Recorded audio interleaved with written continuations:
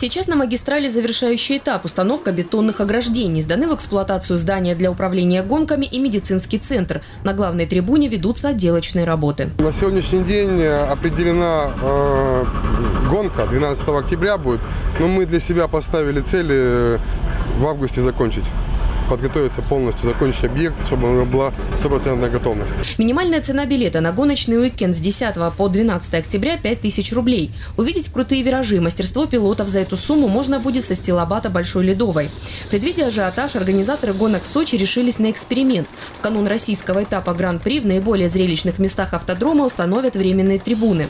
Стоимость входа на автодром будет варьироваться от 11 до 17 тысяч, а самые дорогие билеты будут распространяться на главную трибуну и вип-зону. Это не просто три дня гонок. Это пятница, суббота, воскресенье, плюс прогулка по питлейну непосредственно перед боксами команд в четверг, плюс развлекательная шоу-программа.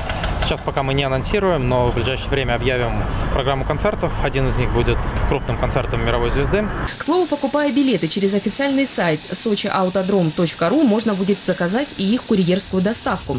Или забрать в пунктах выдачи. Они в августе откроются в Сочи и в Москве. Галина Моисеева, телекомпания ФКТ.